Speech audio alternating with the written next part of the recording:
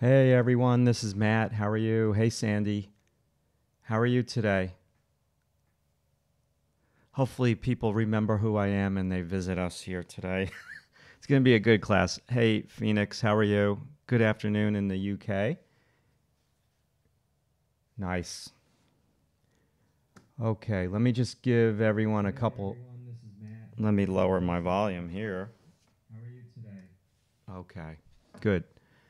Um, I'll give everyone a couple minutes. Hi, Nancy. Hi, Ileana. Ismael, how are you? Aurora, how are you? Good to see you guys here.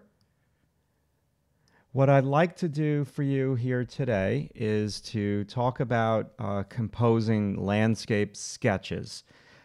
Hey, Aura, um, landscape sketches in terms of composing landscapes, but more in a sketchy, what the technical term would be is more of a thumbnail uh, sort of way, but a little bit bigger than a thumbnail so you can actually see it. A thumbnail would be like a one by two inch sketch. Hi, I L S E, that's a tough one from Maine. Lise, I don't know if it's Lise. Peter, how are you, Peter? I want to thank you guys so much for joining me. It's been a really, really busy week. I taught a pre college class at the School of Visual Arts five days in a row on Zoom. And uh, it was a lot of time in front of the computer, a lot of time sitting in this chair. I need to spend some time, hi Marie, off of this chair, get in my butt off of this chair and getting out a little bit this weekend. Um, that would be a, a, really good thing for me to do for my body. Uh, but before I do that, hey, Sabi, I, I want to talk to you about this landscape thing. So, um, Ruka is here from India. Barbara, hello, Barbara. Thanks for joining us. Fresser, Sa, Sala, Chuck. How are you, Chuck? Good to see you. V. Yeah, you got to work hard to pay the bills. got to do your thing here. You know, it, it, you just take a couple days off, and you know the internet will just swallow you whole. There's so many good artists on the internet, and uh, uh, you will be uh, thrown to the woodshed. But um, the pre college class was really fun. I had a, a, great group of students. I invited them to join me today.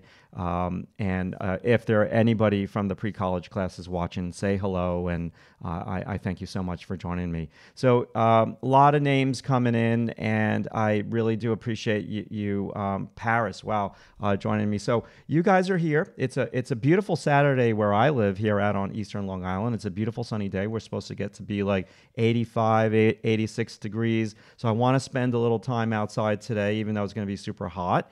And uh, so, let's get started. So, uh, today's class, like I said, is about composing landscape sketches, specifically using a um, center line to help you compose. Okay, so what I'm using today, and the materials are in the comments section. I, I, I might use a little bit of charcoal later on in this um, live stream. Uh, Craig is a coaching student, and he bought me these. Let me show you, and they're really messy he was nice enough and he just surprised me and sent me these pan pastels, which I never use. Uh, but I might try like a little landscape sketch later on in the live stream uh, with the dark pan pastel, just for fun, just to show you how I would go about using that. And um, yeah, in Texas, it's it's hot there already. It was hot all week there and I'm going to do that later on. But first, let's use this. I know people really want to know what I'm using here. Uh, I'm just using a Derwent Drawing Ivory Black 6700 pencil. It acts like a black crayon. And if you cannot find this pencil because actually they're really, really hard to find, you could replace it with a Sharpie peel off China marker, uh, which is very frustrating to peel that off, but you, you can use this. It gets the same results. So, first things first, and this is what I was going over a lot um, this, more, uh, this week with my students, is warm up. Okay, warm up um, just do some circles, do some opposite C's. We did a ton of figure drawing stuff. We did perspective. We did it all this week. So the first thing I want to do is just scribble. Get my hand going, really loosen up. This is something that you should do before every drawing that, that um, you do for the day. Take a couple minutes and do this. Now, just to show you the Sharpie marker is the same thing. So look at this. It, it's actually it's a little bit harder, and maybe the pencil has a harder feel, like an H feel to it, because maybe it's just an old pencil, and pencils have the tendency to dry out. I know my environment where I live here in my home is very dry uh, because we keep it very dry. So I have tons of pencils and they dry out. This one's a newer pencil; it's just much softer, but you can see if you you can just buy this anywhere. Now it's not charcoal; it is just um, like black crayon. They call it a China marker. Some teachers in the past that I've had at SVA uh, many many moons ago used to call it a grease pencil because it kind of feels like grease. All right. With all that said, let's get started with our first composition. And uh, I might want to zoom out. First, let me just do a frame. Yeah, I need to zoom out. Okay, that's going to be way too small. I want to draw a little bit bigger for you guys here today. I want to draw a little bit with my arm and not with my fingers. So maybe what I'm going to do here is just do a quick um, 16 by 9 frame. M- maybe it's not purely 16 by 9, but yeah. So uh, first things first, when, when you're composing, you could compose first in a frame like that, or what you can do is you can start to just draw the corner of the frame, maybe the bottom, and uh, it would be nice if I got it in on the screen, Matt. So you can just start with part of the frame and not do the whole frame. And maybe I'll do the next composition like that. But this one, so how can you use a center line to help you compose your uh, landscape drawings or any drawing for that matter. So if we put a simple center line very lightly down the page, uh, that I, am going to try to make this composition very balanced. I, I, don't want this one to be off balance. I, I want this composition to be completely balanced. Let me just tape my pad here so it doesn't move around too much as I am drawing. Good.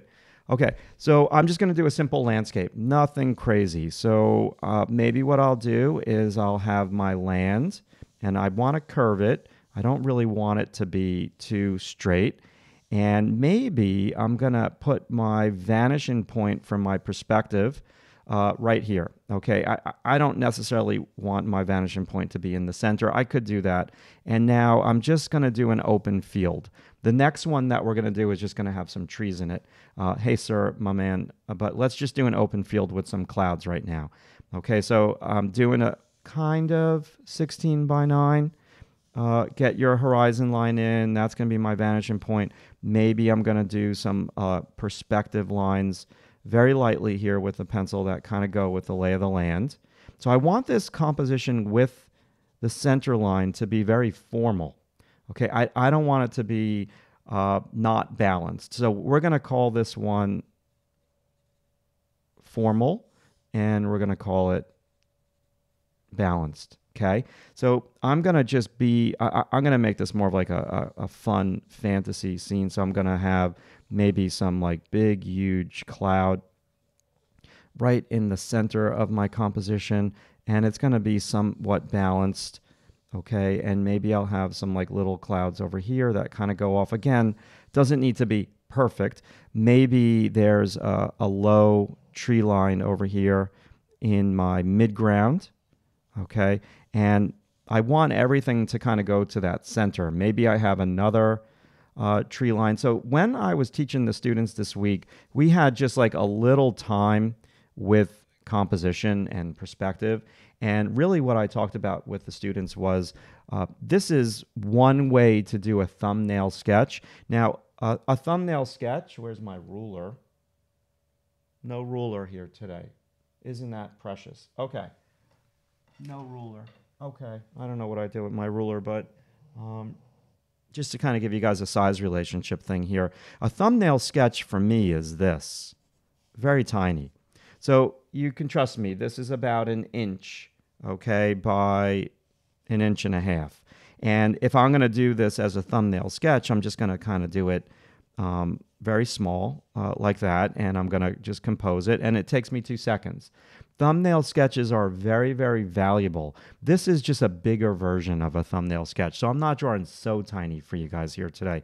Now, what is something that I talk about over and over again uh, that I feel is one of the most important sayings being an artist. And those sayings are different things should have different values. Okay. So right now I have uh, the ground, I have the sky, I have a cloud, clouds, and I have some trees. And if you just do them with line and you don't use tone, uh, it's just not going to feel that powerful. So maybe what you can do over here where you're scribbling is you can give yourself a key and you're going to say, okay, there's my dark value, there's my middle tone value, and that's going to be my very, very light value. Or the white or the light could be the value of the paper. Okay. Uh, so now what I'm going to make a decision on is uh, let's work from left to right because I don't want to smudge this totally. So I'm going to make a decision. First, I'm going to work with my middle tones. I don't want to um, just dive into it and put my darkest dark in just yet. I want to build up. So, number one, I'm adding shape. So, different things have different values, and I'm going to do those trees kind of a dark, but not the darkest dark. So, I can give myself a key. That's my darkest dark on the paper. So, my trees are kind of like a dark half tone. Okay. Now, what I'm going to do is say, okay, cool, I like that. Now, maybe part of the land, see, I'm holding my pencil a little further back. You can do this if you're heavy handed. I'm going to hold it a little further back. I want my pencil stroke direction to go with the lay of the land to emphasize motion in my landscape. So I'm going with the direction of my perspective lines. So now I'm going to say, just to kind of start off, I'm, I'm also blocking in. I, I don't need to block in the whole piece of paper because I want to save in case I want to have some light things in there. So right now I have my ground is a light middle tone. My trees are kind of a dark middle tone. And what is another thing that you should really try to put in every landscape drawing that you do? A gradation. Okay, so now what I'm going to say to myself is I want a gradation in the sky. So I want there to be a gradation, and towards my horizon line, I want it to be a little bit lighter. Okay, so this is very fast, but these are simple things that you can do. I don't want to go too dark with the top of the sky. That that's dark enough. And what this gradation will do is it will emphasize the clouds. Okay. And now at my horizon line, I want my horizon line to be light. And I can go on in there. This pencil should erase. And I can destroy the vanishing point just to kind of get full effect because that vanishing point, this is erasing not too badly. Hey, Craig. Craig, I might use the uh, pan pastels that you got me later on. I, I'm, I plan on going like an hour today.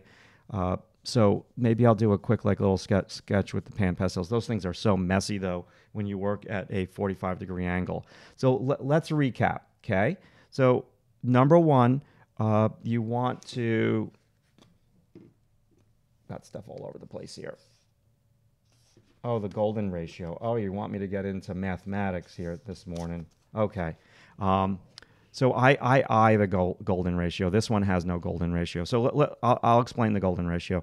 Um, so here's my scribble, okay, and uh, long figure eights, opposite C's, all that jazz. Think about your three values. Now, with this particular composition, what I did was I made kind of a 16 by 9 frame.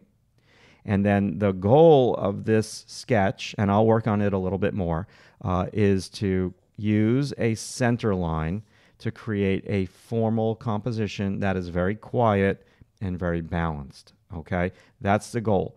Then we just kind of sketched out our horizon line, but we made it curved, and that's our vanishing point, and all of our lines are going to that vanishing point. And then we decided to make the tree line um, our dark, the ground our light middle tone, the sky our light middle tone, and the clouds are light. Now, what is missing what is the thing that I talk about all the time to all of my students um, is light. So right now, this piece has no light at all, and um, it's fine. You can do a piece without light, but light is everything. So I'm going to say that the light is coming from this way, kind of. Okay. Maybe it's, uh, gosh, maybe it's coming up a li- from a little bit higher, and that would maybe be two o'clock in the afternoon on a sunny day. So two o'clock I'm going to smudge this now. Two o'clock uh, in the afternoon, maybe this side of the clouds would be a little bit darker than that side. And the bottoms of these clouds would most certainly have a little bit of a shadow. So I don't want to go too dark. That's actually a little too dark for me. Um, but hey, it's never soon enough to screw up, right? So a little bit underneath there. I, I could have been a little bit lighter handed with that. So make the shadow on the left side. Okay, I'm going to kind of kick this out. So light and shade. Now, uh, the light's coming from here. I want there to be, so this is my tree line, and I want there to be a little bit of a cast shadow on the ground. And maybe I could have um, a cast shadow over here, a very soft cast shadow from another set of clouds that is kind of like right above our head. And these trees, maybe they would just have, uh, hopefully you guys can see what I'm doing here. Yeah, actually, let me just do one thing, guys. I'm sorry. Good. I need to be able to see what I'm up to here. Um, and I'm almost there. Okay, cool. Uh, so maybe I'm going to go a little bit darker over here with some side planes of trees. And the goal of today's class is not to do a, a, realistic piece. This is about doing quick sketches out of your imagination, creating landscape pieces using the center line to help you compose. So maybe now I'm going to do something like that. Over here, I can do a tree that has like a little bit of a shadow over there. Uh, maybe these trees are in shadow. They uh, get smaller as they go towards the horizon line, bigger as they come closer. So something like that. Now, uh, God, I can clean some areas up, and let's try that. So let's just clean up our horizon line. I am going to go in with the mono zero eraser. So the mono zero eraser. And I'm going to just clean up my horizon line. So this pencil does erase, but I got to be careful because this I'm using newsprint paper. And newsprint paper is throw out paper. And let me not use my hand. Let me use my brush. Cool. All right. So we have a quick landscape in a grand total. I've been doing a lot of talking. How long have we been filming? So let's say I drew that in like 10 minutes because 10, 12 minutes, and I've been kind of, uh, yeah, uh, talking. So now what I'm going to do is I'm going to just add some things here in the foreground. Maybe there's some like weedy things, like little um, bushes or something, some kind of foliage that's going to bring us back. Maybe there's like this part of the ground is a little bit darker. Maybe there's some like grass growing here. And I'm just trying to be soft and I'm trying to make things bigger in the foreground. And they're going back to my vanishing point because I'm really trying to use um, perspective in this scene. Maybe some like little texture things and uh, I don't want to be too symmetrical with it. That would be fake. Now, yeah. I think I'm going to go darker with the whole ground. I think the ground needs to be darker than the sky, more so than what I have. Yep. And I'm going to not make it so solid. I want it to be um, kind of rough terrain where it's a field slash dirt. And uh, just want it. See what happens when I go darker with the ground? The scene just becomes so much more um, deeper. Like it has more depth. It, it's not flat. If you, if you draw just with line, uh, you're at a little bit of a disadvantage, in my opinion. And I'll show you right down over here. So let's say I'm going to do this sketch one more time very quickly here. This would be a pure thumbnail. So I do my horizon. I do my tree line, tree line, some lines here for the perspective, vanishing point, cloud. So when you draw just with lines and you're trying to compose a scene, it's just not as powerful as if you would use values and gradations and shape. And this really is how you want to do your landscape sketches. Not with just line. Now, let's say you're like, no, Matt, you're wrong. I like line, and that's what I'm going to do, and um, I don't care what you, what you say. And that's cool. So we could make a line one work. So what does that entail? That entails line diversity. So you have dark, thick line, middle tone line. I always try to show this digitally, and I can never do it. And light, almost non-existent Shirley Temple line. Who knows what who Shirley Temple is? I just aged myself.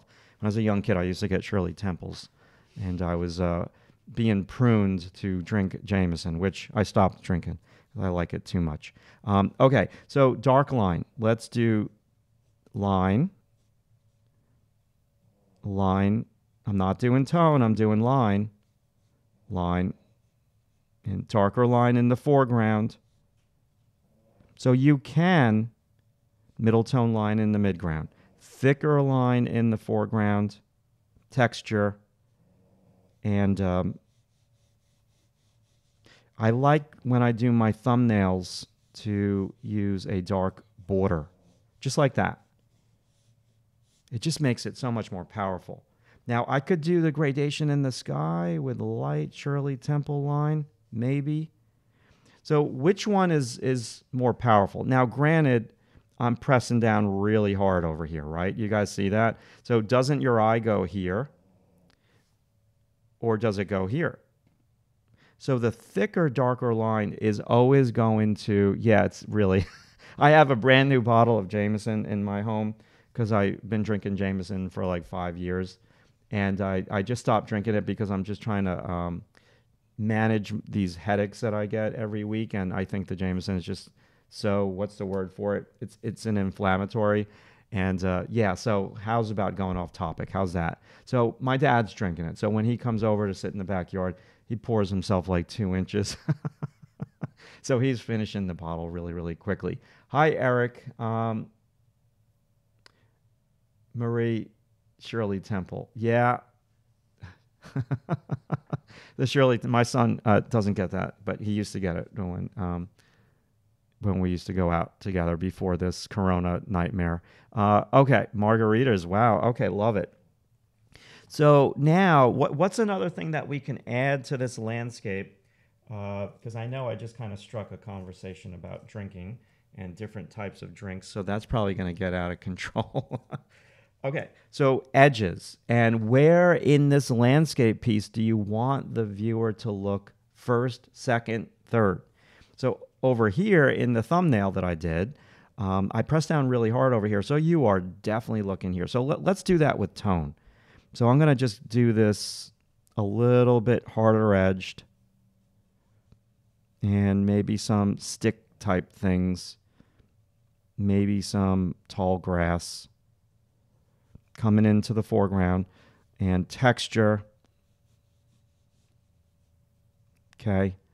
And this is where we're going to look first because it's overlapping things and it's crisper, it's sharper, it's darker. Okay? And um, so now we look here and we can feather into the background. So again, this is really formal. There's no golden section with this one.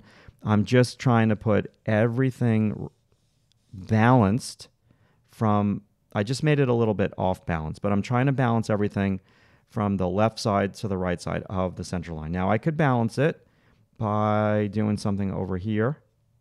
That's kind of too big for my midground, so I got to be careful. And let's finish this one off. I don't need to overwork it. So that's my composition. That is my balanced sketch on newsprint paper. Very formal scene. I could clean up the clouds and uh, I could go darker with the land. Just a little bit. Let's try it. I don't want to screw it up. So this is just a sketch. You just got to know when to leave it alone. Maybe I'll go a little darker with the trees here. Make them more solid. Okay. So that's composition number one. And maybe we can play with the clouds and make them a little bit more poofier. Poofy is a very technical drawing term. If we were to make uh, the sky look prettier. It would just have to be about solidity. And let's do some far off in the distant horizontal clouds, which will really make the scene go back into the landscape more. Now, if I try uh, to be more detailed with it on newsprint, I'm gonna I can't really erase on newsprint. Okay, I'm just gonna kind of screw everything up. Um, okay, so that's our first composition, formal. So now let's do another one, and let me see if I can't slide this paper over. Can I just? No, I can't slide that. I did so many drawings this week on newsprint paper, and it's crazy. Okay, one second, guys. Let me just get this thing sl slid over.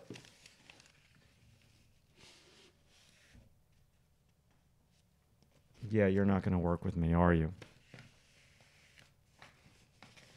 We're not going to do that. We are going to take this sheet of paper off, and we're going to use a new sheet of paper. And let's do a composition that is more dynamic. And try not to rip that. And let me, you know, I've been drawing with this pencil all week.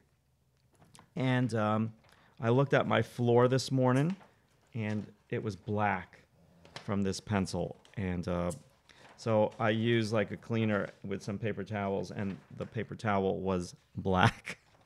You don't realize how much these pencils get all over your studio.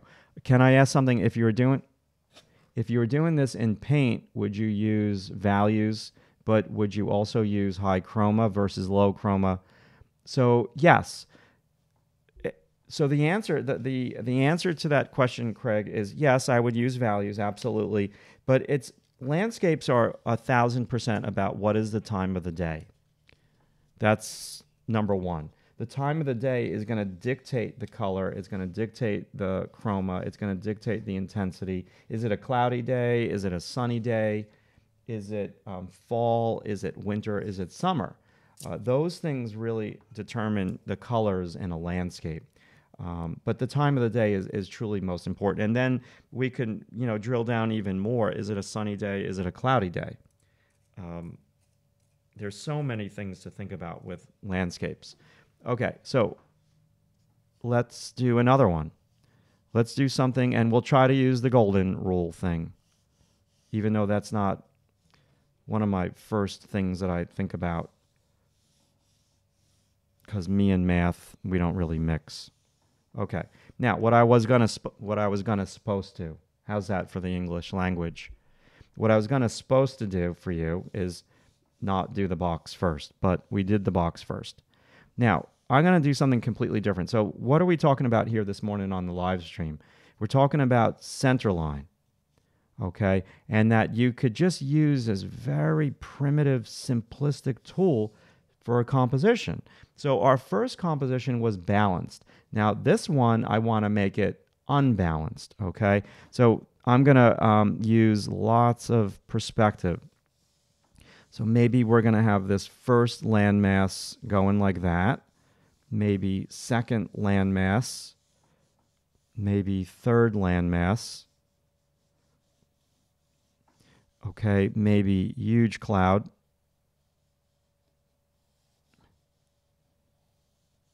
And let's do our, let's say our, just kind of trying to wing this here perspective. And how do I want this with, with trees? So I'm going to just do a bank of trees here. So you got to be careful that the land doesn't become too round. Then it kind of almost reminds me of like a Disney type scene. Um, but for animation, it would be kind of cute. So maybe over here, we're just going to have a, a little bit of a bank of trees. And this would be our opportunity to put some big shape in big bank of trees, um, small bank of trees. So what I'm doing here is I'm just kind of drawing shapes over the hill. And uh, yeah, let's do something like that. So now I'm just going to very simply start to put in my value. So value here, lay of the land, lighter value here. I would have liked those trees to be further apart, uh, but it's all good. I'm going to come up bigger. And so there's a theory with landscape painting um, and drawing bigger in the foreground, smaller in the background. Now, golden rule for me, I didn't really pay attention to the golden rule, to tell you the truth. Let, let me do it for you right here. I, I, I wing the golden rule. Okay. So the golden rule is I kind of feel it out, but it's a mathematical equation. So this is the spot that you could put one of your most important elements in the composition. So if, if you're doing a landscape and you're trying to focus in on one tree, you put the tree right over here where that golden section is, and there's a mathematical equation that you could use to find it. I'm not that technical. I like to do things a little bit more by feeling when it comes to landscapes. So I could say, all right, cool. Here's my foreground land. It's my big, huge tree right over there on that golden section. And um, I'm going to tilt this down. My next lay of land would be a little bit lighter. And I'm going to have, sorry, so this is classic thumbnail sketch. I'm going to do something like that, maybe some, and then a gradation. So this would just be focusing in, Craig, on one thing, one big huge tree. And our golden section, let's kill it, is where I'm putting that black dot. I know I just kind of was a little bit of a bull there. So that's how I would kind of use the golden section. And for me, it's a feeling. Now, I could use it doubly, and so the other golden section would be right about here. So maybe over here, I can have something that you look at that brings us to that tree in the background. Okay, boy, my dog is really snoring. Why does she do this every time I do a live stream? Um, now, with this one, uh, let's go now to the theory of um, things, different things have different values. So I'm going to work from the top and let, let's do a horizontal stroke. This is going to just be a darker cloud. I love doing dark clouds like that. Okay, and our let, let's let's switch it up a little bit. Let, let's have our foreground land not so dark maybe something like that. So y- these different chunks of land have to have their own value.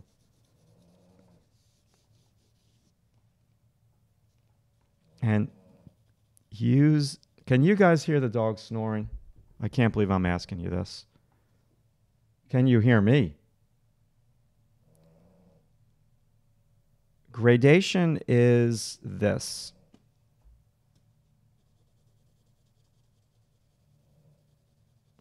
From dark to middle tone to light. That's a gradation. Dark, middle tone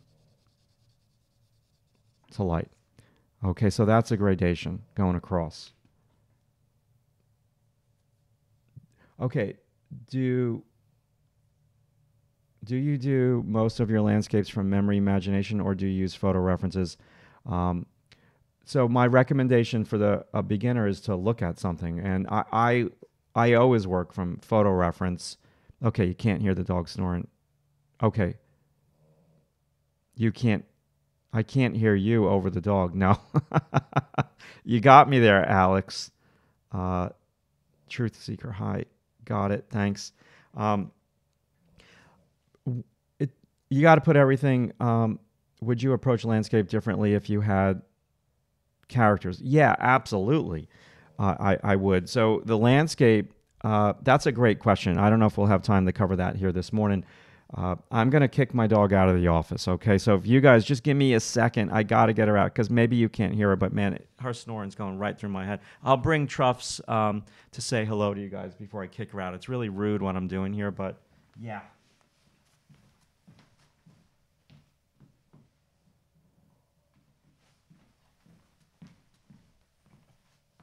So the quickest way to get white hair all over your body. Hey, Truffs, you want to say you want to draw a little bit, Truffs? Let's see if she can't draw here.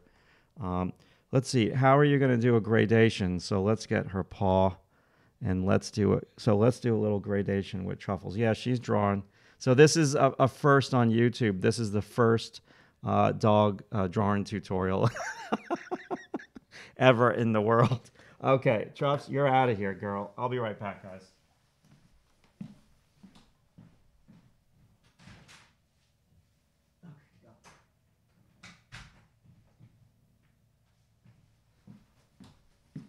All right, sorry about that. But if you guys who've been with me, you know I have three dogs, and um, Truffles is I, she's becoming my favorite. We call her the White Knight, and uh, Chloe is downstairs. She doesn't do steps. She's my other French bulldog. I, I love her. And um, then we have this other problem child, which I'm not going to talk about on the on the video here. Um, so where was I? Okay, so talking about people in the landscape. So yeah, I, I mean that was my entire. I wish I had the book. I'm going to get one more thing so I can answer this question. One one more thing.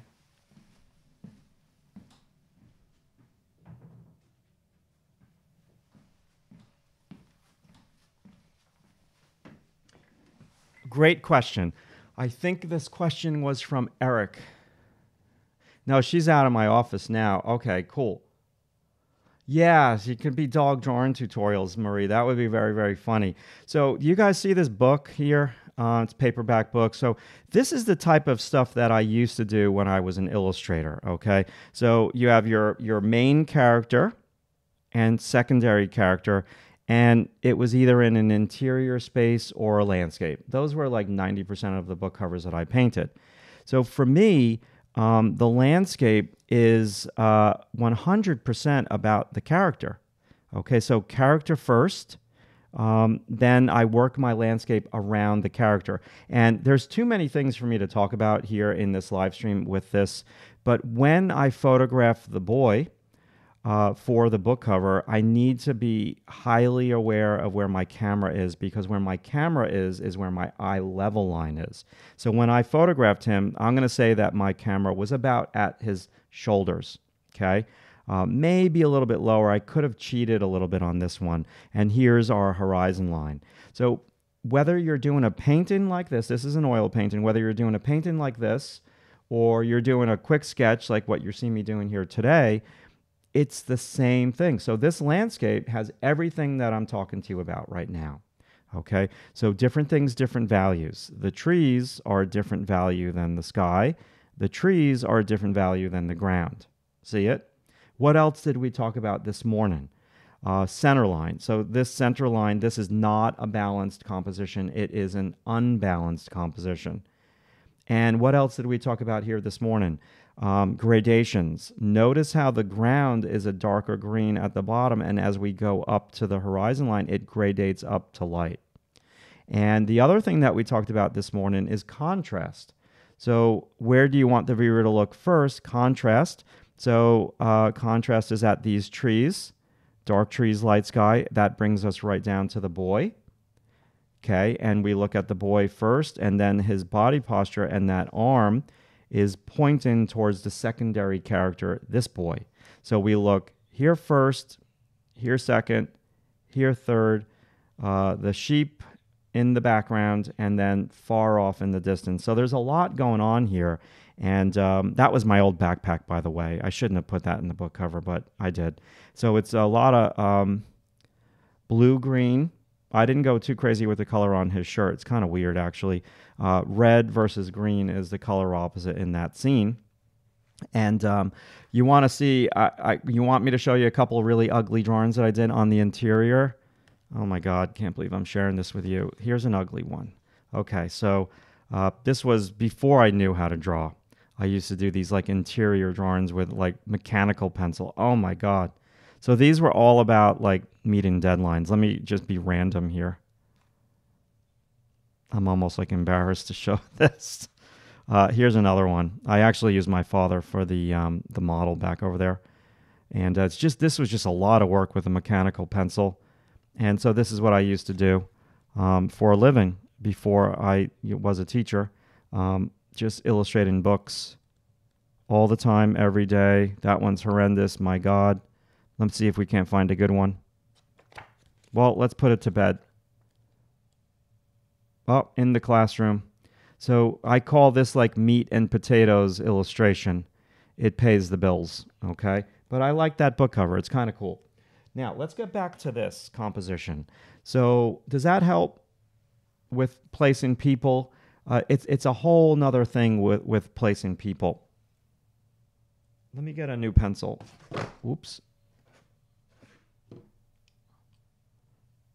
Okay.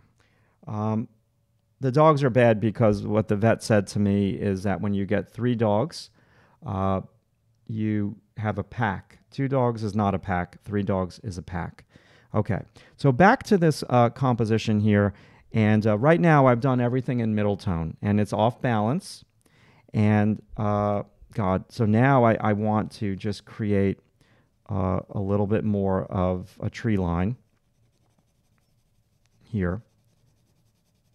So I'm just using a very, this is, remember guys, today is about um, thumbnail sketches, quick drawings, uh, figuring things out, not some deep, laborious thing that's going to take five, six, seven hours to draw. So I'm doing a up and down pencil stroke direction. And I'm going to do my detail on the edge of the trees. So I'm being very, very simple. And there's just going to be like, I want these trees to kind of come off of my page because they're going to be the lead in. So our lead in and uh, not quite sure where my light's coming from yet. It wouldn't be the worst thing in the world if I decided that. So I'm going to do a little circle over here. This is my light. So this is more of a, a low sun. Okay. Um, Luana, thank you. And uh, now low sun here. And uh, can I add? I used to have a gerbil and we gave it away. It was my daughter's. Uh, I think about light source first, Rob, because light source it helps to tell the story. Uh, and if you are doing something like book covers, storytelling is everything. Okay, if you're just a landscape painter, uh, light is just how how you work, right? It's it, light is everything. It's time of day. So sun is here, which means now uh, technically this part of this rolling hill is going to get a little bit darker so I kind of dig that. That's working for me. Uh, this I want softer, but I still want it to be backlit from that sun. And I'm going to do like a little bit of cast shadow there. Okay. And I'm going to just um, put in a little value, maybe some trees going off there. Trees, tree line. And this little opening back over there. I'm really big fan. I, am going to use line just to separate for fun. And now I have this distant landmass here. So what we're doing is completely off balance. And that is just going to be some distant rolling mountain hill thing. Can I ask, uh, but are the flat pencils any good? I think Blackwing. I don't know. I, I don't know. I've heard there's a student. Yes, I think I know what you're talking about. Yeah, they're good. Uh, there there's a friend, not a friend, a student, but my students are my friends while they're in my class, and then they kind of divorce me and go on to their second year teachers. Um, there's a student that just loved the Blackwing pencil, and I picked it up and I drew with it, and I'm like, whoa, that's pretty magical. Uh, so I think they're they're pretty good, especially for this. Now uh, I don't like this because it's too smooth. It's too perfect. So I'm gonna go a little darker, little texture over there, little higher up. Don't know if I like that, but we're stuck with it now. And maybe not. Let's use the eraser and let's see if we can't make this lower. Sorry, here. Can we erase out? Am I going to mess up the paper? Am I going to rip it on a live stream newsprint paper? This is holding up. Not bad. Let's get the brush. Cool. Okay, it's one big hot mess. So now let's just do a little bit more. Uh, Let me frame this out. I, I need to bring this one home. And then I want to do a charcoal one for you on white paper if you just hang with me for a little while. Okay, sharper pencil. I'm just looking at this thing. What's a what's a good pencil that doesn't smear? Uh, they all smear, but the one for me that smears the less least is my Prismacolor Col-Erase pencil, and that's why I use it. Um, Prismacolor Col-Erase. Every single video on my YouTube channel, I've used that pencil. So yeah, that doesn't smudge as much, but quite frankly, all pencils smudge. So I want this to be tall grass. Okay, look at my hand. It's all over my hand, but I really don't care because uh, these are just kind of demo drawings. So tall grass, texture, more texture in the foreground on a landscape. What's the eraser that you just used? It's called the Mono Zero eraser. Mono Zero. Look at it. It's got like newsprint paper on it. That is weird. Um, I got to be careful here with the newsprint because it only takes. Um, oh, I never even knew about the, the word Tombow. I just call it Mono Zero. Tombow sounds like, um, yeah. I won't go there with you, Craig. I won't go there on the live stream. Uh, Tombow Zero. Uh, okay, so I'm sure you're laughing right now. So I'm just doing texture in the foreground, and grass doesn't grow perfectly straight up and down. Uh, it the longer grass gets, the more it kind of tips over by its own weight. So you want these strands of grass to kind of tip over a little bit, so it's not so like manicured. And uh, uh, you want your tall grass to be closer to the bottom of the panel uh, because that's where your foreground is. And as this tall grass goes further and further away, you're just going to kind of suggest with like little waves, you can do like little other horizontals. Okay, now we've been neglecting the sky, so let's go back up to the sky and let's just go a little bit darker here.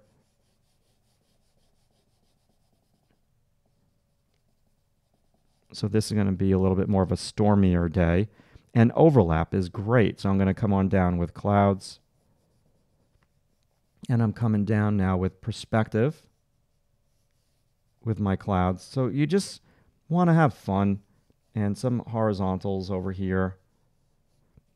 And let's smooth this out. Let me just go with a, I, I, I don't like drawing this way on video because I block the drawing when I do that, but I just got to do that very quickly. And um, gradation. And what else can I do here with this one? Let me just do some details before I get to the charcoal piece. So some trees, branches, trunks. I'm not doing negative space in between the trees, unfortunately, just for time. I'm just trying to, this is like a really gritty landscape. Let's go darker. Let's add that third value. Let's be like a little bit of a maniac really dark over here at the tree line. I can do this stuff all day. This is fun. You're just really dealing with shapes and textures and, and big, massive chunks of land. Let's have uh, this kind of curve around. So this is how I would thumbnail out. Okay? You got it. This is how Greetings from S Spain uh, you have such a nice voice. Well, thank you very much. Um, I appreciate that. It's the microphone, it's not my voice. Trust me. So, a little bit more shape. How do I add that curvy flow to figure? Okay, I'm going to show you that in a moment here. Let me just kind of finish this off. Curvy flow to the figure. I've been drawing the figure all week. Um, uh, let's just call that one a landscape drawing. Okay, I, I could work on it some more, but it's not symmetrical. So let's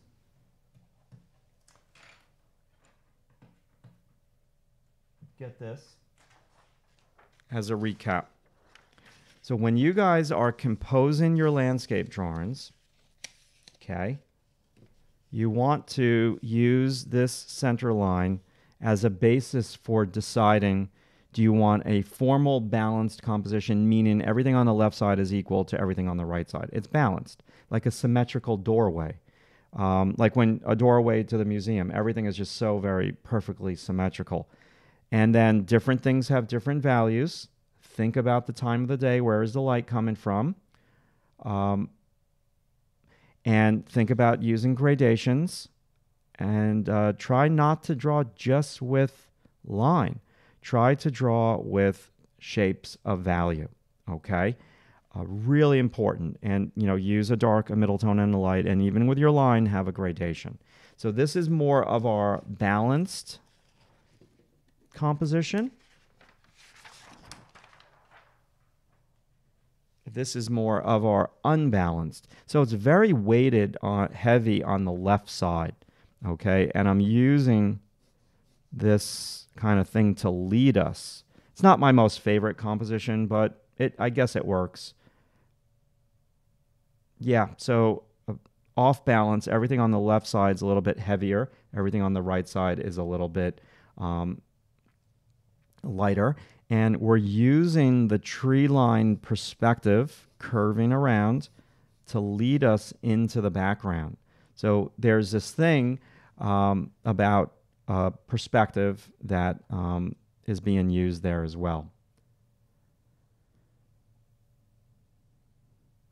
Okay, so I'm not going to cover perspective for a bedroom in this one because that would just take me way, way too long to explain that. But uh, that might be a good idea for next week's live stream um, how to do an interior scene in perspective. Believe it or not, across the way, I have a drawing that I did yesterday for my animation pre-college class, how to draw interiors. And um, but for this one, I, I'm not going to go there just because I'm in the middle of doing uh, the focus of today's class is is the landscape.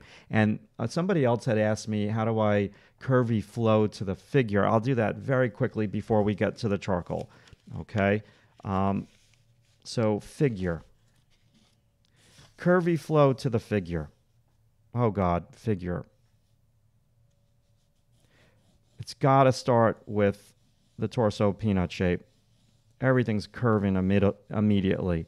It's got to have a line of action. Okay, so that would be the person's legs. This would be their head. So that's how I do curvy figure. Okay, line of action. Let me resharpen this. I, I don't want to get too off track here. I want to keep this about landscapes today.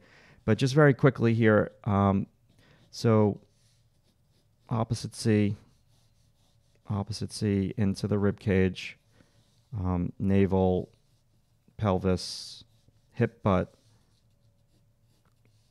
knee, foot. I'm not even going to outline. Opposite C, opposite C, opposite C, into the top of the foot. And um, that's our curvy figure. Okay, shoulders, um, arm, arm. So curvy is this. Letter C, opposite letter C, letter C, opposite letter C, letter C, opposite letter C. Letter C, opposite letter C, letter C, opposite letter C, letter C, opposite letter C. You get my point. Okay, so does that make sense for you guys with the landscape stuff?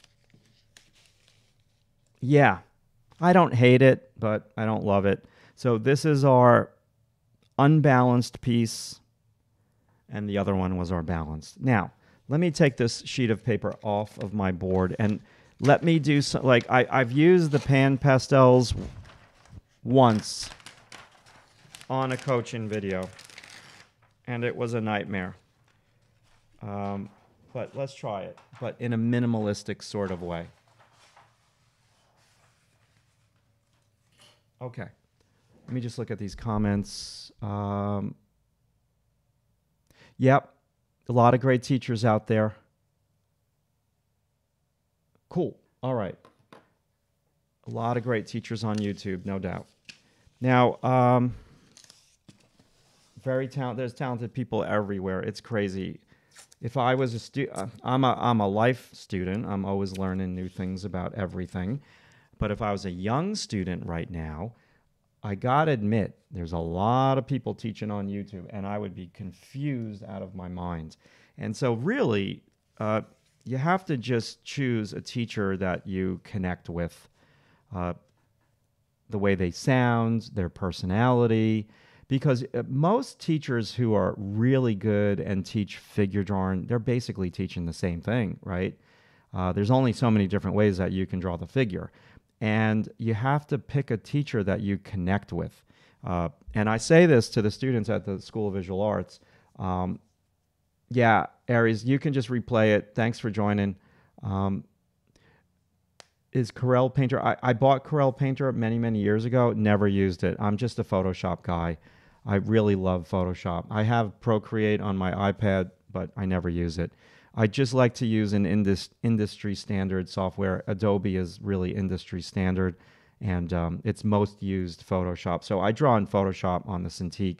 I don't know if it's natural, but I don't have that much uh, experience with uh, Painter. So yeah, uh, just getting back to what I was saying there, you have to pick a teacher that you connect with. Okay. Okay. Yeah, Proko is a, a great guy. Um, so you know you have to, if you like his personality and you like the way he teaches, learn from him. Uh, if you like another teacher on YouTube and you like their personality, learn from them. So getting back to the students at SVA, you know they ask me, you know, going into thesis year of um, college, fourth year of college, uh, who should I have as my thesis advisor? Who do you think I should pick? And I'm like, pick the person who teaches what you are weakest at, okay? And then also teach pick the teacher that you like their personality. Because if you're going to be working with them for one year on your thesis film, make sure that you get along with them and make sure that you get along with their personality because some people can really rub you the wrong way. You might like the way that they teach, uh, but they may not have the personality that fits with your personality. Yeah, there is an easy way to find your eye level line, and it's basically you have to figure out where your eyes are. It's where your eyes are, or it's where the camera is. Okay. Um, yeah. Okay. Let me get into this. So, pan pastels.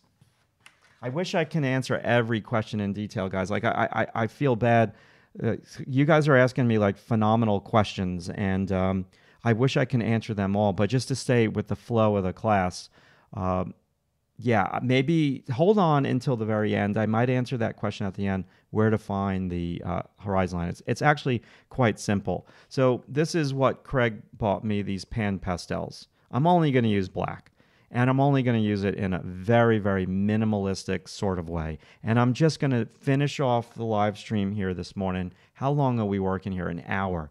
Let's say I'm going to work for like 15 more minutes and then we'll call it a day. Because I know that you guys, you guys have like your Saturdays to enjoy. How can I get this on camera? So you can see. I, I guess I'm going to be like one of those artists now that holds the palette. So Craig, I'm going to be like the painter now on like YouTube who holds my palette.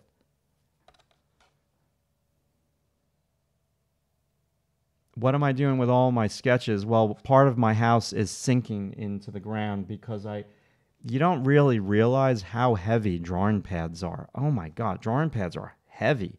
And um, yeah. Okay, so they're all over the place. I have artwork all over. I don't know what I, when I die, I don't I hope my kids don't don't burn it all. Use it for like firewood. Yeah, Nancy, that would be a really good question. I think about doing that all the time and maybe that's a good idea for next week where I just come on here on a live stream and I just draw like I'm sketchbooking and I answer questions and I just randomly draw what the questions are. I think that'd be cool. Okay, so I'm going to do a short little landscape with the pan pastel. And how can I do this? I'm using a brush. I have charcoal all over the side of my hand. My goodness gracious. And let's just use this. Oh, I'm going to show you a little trick here. This is good. I do not want charcoal all over my studio, and this stuff is messy. Blue tape. You got to get the, the original blue tape, and um, it's Scotch blue tape. Don't chintz out on this. You got to get the good stuff. So I'm going to take this blue tape, and I'm going to put it right here. I'm taping it to my paper. So all of the charcoal that's going to fall down is going to go there. Okay, now if I want, I can build it up. And I do this with my paintings when I'm using oil and I'm being messy and it's dripping. I put that tape there. See it? It's just blue tape. It's going to catch all of the charcoal because the charcoal is like beyond messy.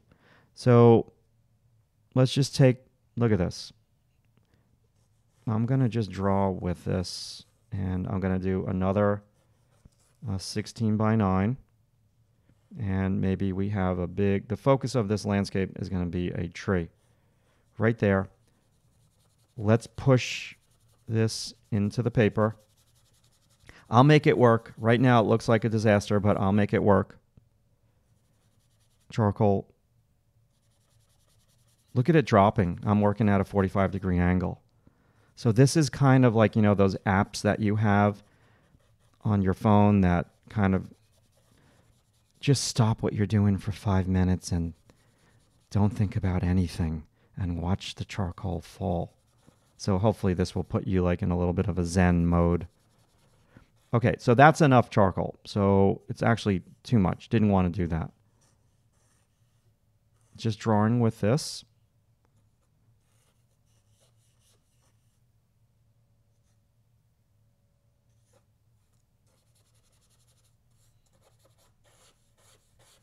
Our midground.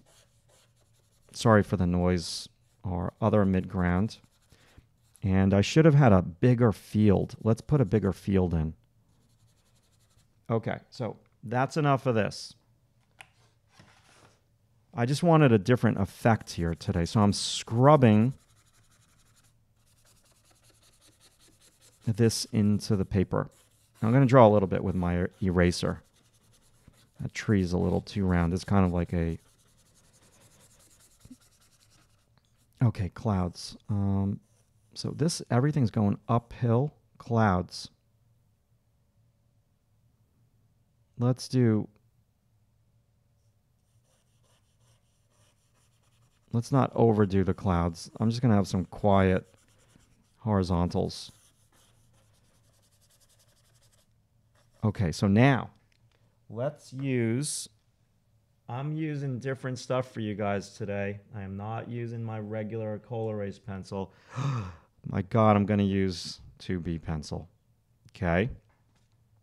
Now, yes, Bob Ross. I'll tell you a little story about Bob Ross. So when I was in college, second and third year of college, and I was learning how to paint, my grandparents lived um, with me my with my family because they were sick and my family was taking care of them. So I would go up to do my homework up in my room at my parents' house, and uh, you know, of course, Italian family, you're smelling food at like eleven o'clock in the morning, and I would come down and have lunch.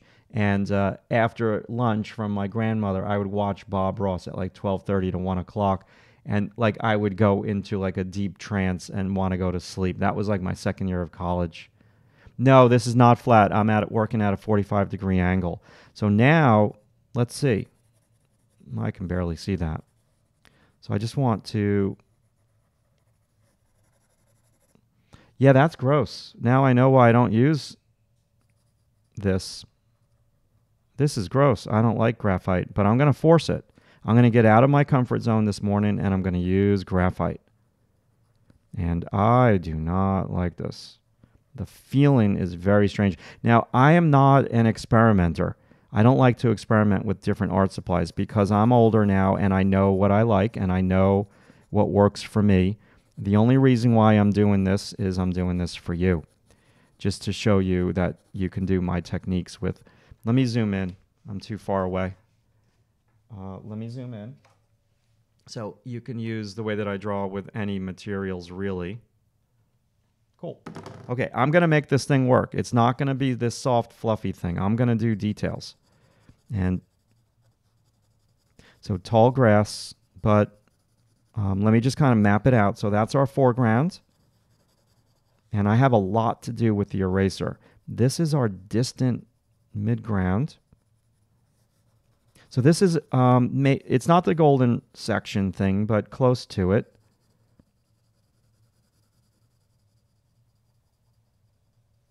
And now I, I want to show you that I'm going to put some like flowers in this scene. And I want to show you that when you use the flowers, you can use um, perspective. Why do I keep pulling that over? Okay, cool. So let's do our border. 2B pencil gross. We talked about how to draw straight lines in class yesterday. How do you draw a straight line? Now on my pad, this is level. On the video camera, it is not level. Okay, so let's give it a bottom. That line's terrible. And let's give it an edge. I don't want to smudge, don't want to smudge, don't want to smudge. Should have my bridge. Okay, let's experiment with the Craig Tombow Mono Zero. Yeah. Okay, so look at all of the charcoal powder caught on the tape. Yeah, I don't want that all over my studio. I've got thousands of dollars worth of camera equipment, lights, and computers. So now let's, um, I'm first, I don't have a razor blade. Let me see if I can cut this thing with this knife. One second. Yes. So I just use this like little utility tool and cut the eraser so it makes a nice clean edge. Okay. And let's let's try to do some perspective. I got to push down the tape. So, so I want a bank. Oh yeah, that erases out pretty good. A bank of flowers, bringing us in perspective, and the flowers are going to get smaller as we go into the background. So we want a big um, area of these flowers in the foreground, coming right off of the page. And then as we go to the midground, they lead us towards the tree. Now, I'm going to use this eraser. Let's put a flower over here, just some weedy things. And let's make this ground a little less straight.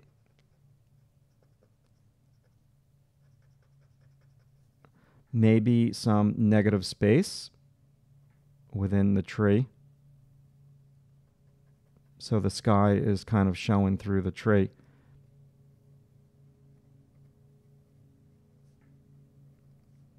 Okay, and um, over here.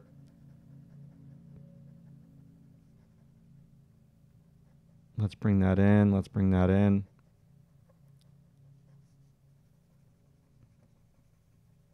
And so we're just doing a thumbnail sketch. This is just composition. This is nothing more, nothing less.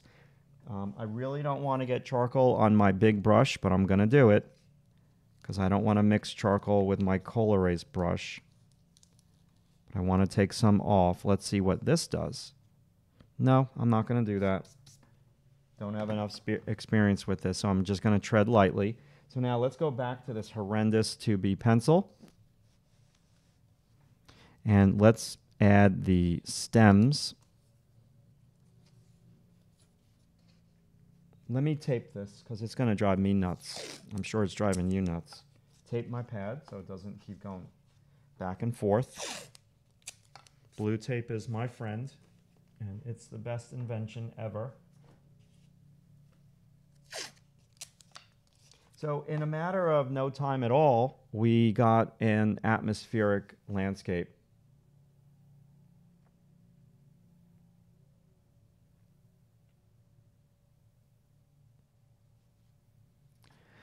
Uh, just uh, no one has ever bought any of my drawings. The only um, work that I've ever sold is um, commercial work, illustrations. So I did illustrations for uh, 18 years, and th- those paintings, those they're not sold. I own them all, but I was paid for those jobs.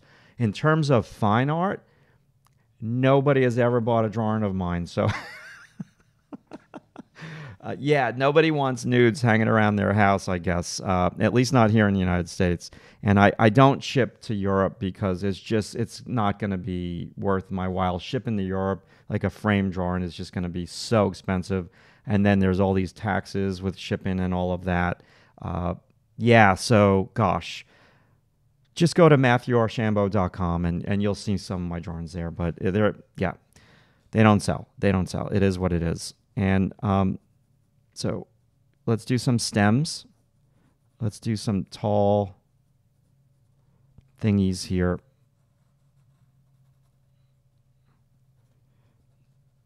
And some tall grass. Let's do some short grass. Hopefully you guys can see what I'm doing here. Okay, let's um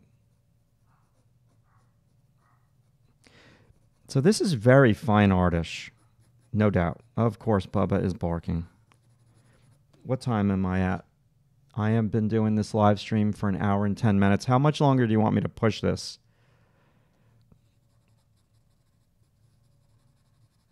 Do you want me to push it more? Do you want me to spend five minutes on it, 10 minutes on it? I think I can push it a little bit more. Let me know.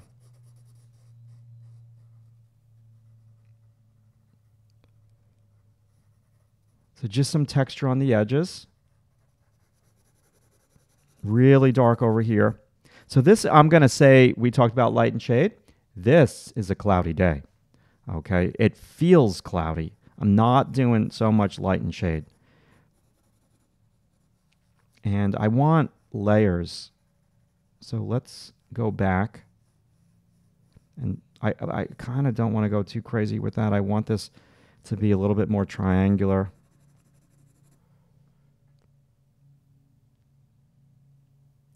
Yeah, no, I just uh, I can't use I I I, ju- I can't use this uh, for my figure drawings. So this is like a um, ice skating, like you're walking on ice with uh, shoes. These are my babies here, the Prismacolor Col-Erase pencils, and this is like you're on ice with skates. You can control it. Okay. Uh, now I kind of like the way that this looks. Let, let me just be bold. Let's let's do something bolder here. Let's do a fence post and overlap the ground. I'm probably going to screw it up right now, but who cares? Fence post, fence post, fence post weeds around, tall grass around. I'm just trying to give you guys different ideas for things here. Trying to show you that when you use perspective, you can lead the eye. Let's do some like thin wire. Now, I don't want a tangent. I don't want that wire at my horizon line. You don't have to draw the whole wire. You can just suggest it. It is at the horizon line. I do have a tangent. It's all good. I'm going to raise that. Let's go back to the brush.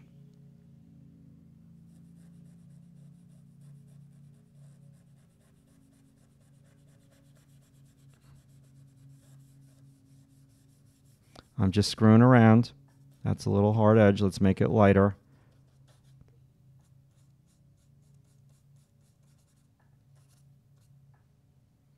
Now I'm going to bring out another tool just for fun in a moment here. I want to bring out like this, this paintbrush pencil or pen. Uh, yeah, let's try that. So let's see if I can ruin this thing. One second. So this is, we're going all mixed media here today. So let's experiment with this Faber-Castell Pitt Artist Pen White India ink waterproof. And it's not doing much of anything. And it's fun though. Let's I can simply do this with the eraser, but I'm just trying to show you guys some different things here. So maybe this I can do the negative space. In the tree.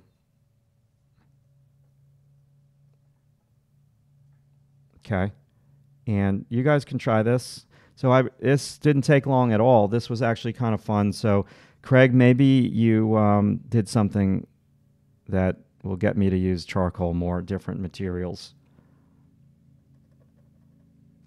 So your experimentation is starting to wear off on me a little bit. I know, I know. You're smiling in the background there. I don't want to overdo it. You know, sometimes less is best when you're doing this. Yeah, I'm just going to leave it. I'm just going to leave it. I don't want to overdo it. Uh, now, listen, this thing is crooked on camera, and I, I that drives me crazy. On camera, it's level. Soft pastels. Oh God, um, I don't own soft pastels. I might have a couple soft pastel pencils, but that to me, soft pastels, gosh, I got to be careful what I say, but soft pastels for me is almost like going to the dentist. I'm sorry, it is like it's so hard to control, and uh, I God, I, it's so messy. This is so messy, and again, my studio, it's so dusty. I haven't dusted it in a long time, but the amount of charcoal that fell down from this is crazy. Um, I kind of want let, let's use the other mono zero eraser so I can really be variety all variety here this morning. So let's use this little eraser. So this is the other Tombow Zero Mono Zero thing. Then notice the difference between the two. I've cut off the clip because the clip is awful. So when you erase with the clip, it turns. And when it turns with this thing, you don't get it to stay at the um, point of the eraser. So I've cut that clip off. See it? and um, I like it so much better. Let's just have some fun here with this, and um, let's see how this eraser works. It works just fine. This works just as good as that, and I'm starting to screw it up, so we're going to leave it. So this is a cloudy day, guys. I don't like those marks, so we're going to... So how do you know when you're finished with art? How do you know when you're done? How do you know when to stop? Well, I just screwed up, so that means I'm done. Okay. Um, yeah, I don't want to do anymore. So thank you guys uh, so much for watching this. Yeah, I don't know. I, I think my voice is terrible, but I thank you so much for that uh, incredible uh, compliment. Thank you so much. I really do appreciate that.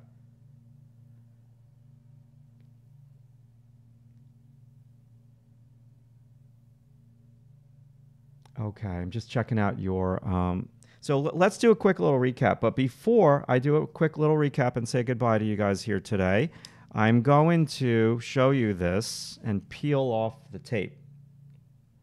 Let me use my brush to lift this up. Okay. Yeah, no, that's not going to work. Okay, so let me peel off the tape without ripping the paper. So this tape has some charcoal on it and eraser crumbs. Um, if anybody has ideas for live streams, please email me. You can email me. Oh, God.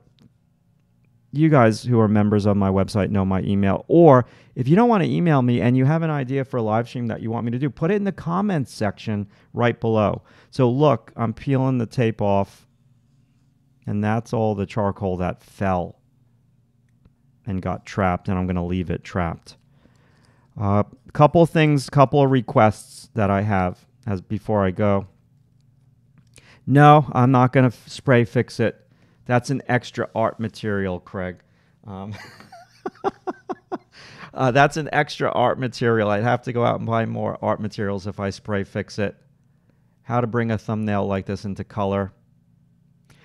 All right, so I'm I'm not a, a, a a promoter. You guys know what I do. You know my website. If you want to join the website, great. If you don't want to join the website, great. That's fine. Um, someone who's a coaching student, Scott, he asked me that he requested that my next course on the site be a landscape painting, and that's what I'm going to do. Um, maybe that's a great idea for a live stream. How to bring this into color? The color that I use though is oil, and um, maybe I could do oh god an oil quick oil sketch.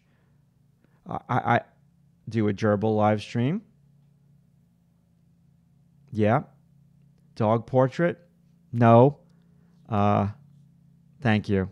Thank you guys so much for watching. I, I mean, uh, I request that if you're not subscribed to the channel, this is going to be my big bad YouTube promotion. It's so highly skilled.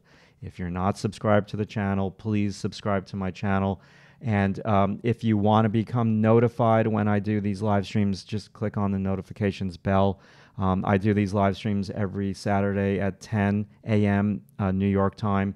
I don't know how long I'm going to be able to do this. Uh, once college starts again in October, uh, that's when it started, not September. Because of Corona, I am going to be super, super busy. So I don't know. Um, my website is in the links underneath the video. I, I don't want to. I, I, I don't want to promote it, but it's in the links. Okay. Um, I should promote it, but I don't want to turn these live streams into um, self promotion. That's not cool. You guys know what I do and you know how to find me. It's all in the description below. So thank you once again for um, watching this. This was a lot of fun. And the topic of today's class was the center line. And this is, uh, you know, our center line on this one. It's not balanced. It's an off balance composition. And it's just, you know, the key takeaway here is to um, use shapes and to think about the lay of the land and to use your center line. And uh, yep. Cool. Thanks, guys. Have a great Saturday, and I will talk to you soon. Jewel, Luana, Aurora, Nancy, Marie, thank you, thank you. More work with charcoal. I can do that. Sandy with an I. Thank you, Sandy. Jordana, that's uh, my aunt's name is Marie Jordana. Jordana, that's pretty cool. Sabi, thank you. Aurora, Man- Manuel, thank you. Thank you so much for watching. Just want to make sure that I hit everybody here. Thanks, Marie. Say hello to the cats. That's going to be my sign in off or cat. Sabi, have a great day. All right. See you guys. Be good.